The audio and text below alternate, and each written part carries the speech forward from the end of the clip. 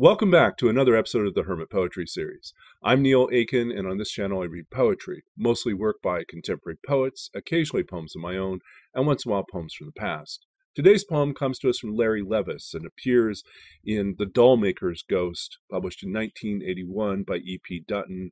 This was the winner of the open competition for the National Poetry Series in 1981. The poem is entitled to a wall of flame in a steel mill, Syracuse, New York, 1969. Except under the cool shadows of pines, the snow is already thawing along this road. Such sun and wind. I think my father longed to disappear while driving through this place once in 1957. Beside him, my mother slept in a gray dress, while his thoughts moved like the shadow of a cloud over houses, and he was seized suddenly by his own shyness, by his desire to be grass and simplified. Was it brought on by the road, or the snow, or the sky with nothing in it? He kept sweating and wiping his face until it passed, and I never knew. But in the long journey away from my father, I took only his silences, his indifference to misfortune, rain, stones, music, and grief. Now I can sleep beside this road if I have to, even while the stars pale and go out, and it is day. And if I can keep secrets for years, it is because men like us own nothing, really. I remember once, in the steel mill where I worked, how a man opened the door of the furnace, and I glanced in at the simple, quick, and blank erasures, the flames made of iron, of everything on earth. It was reverence I felt then. I did not know why.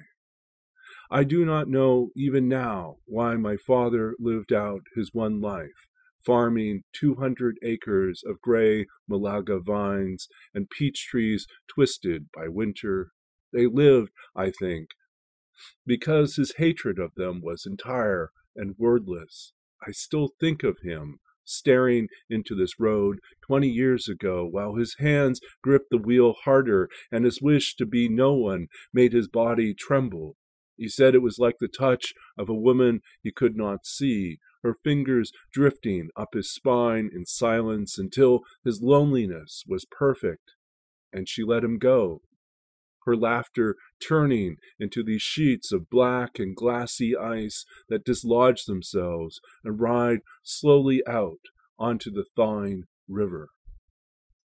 That was Larry Levis to a wall of flame in a steel mill, Syracuse, New York, 1969. Uh, from The Dollmaker's Ghost, E.P. Dutton, 1981.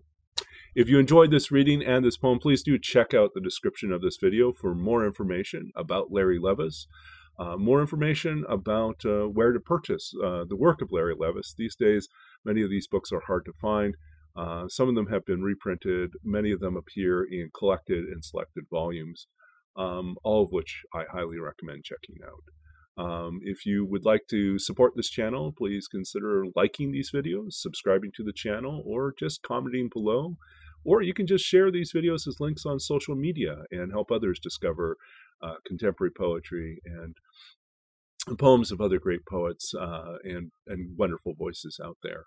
Uh, I'm great, grateful for the opportunity to, to share my love of poetry with you through the means of technology and through the platform of YouTube and hope that in some small way this kindles within you a desire to keep on writing, keep on creating, keep on immersing yourself in the voices and experiences of, other, of others, and discover sort of the broader the broader community, the larger conversation we're all part of. Um, so if you want to check back, we'll be back every Tuesday, Thursday, and Sunday.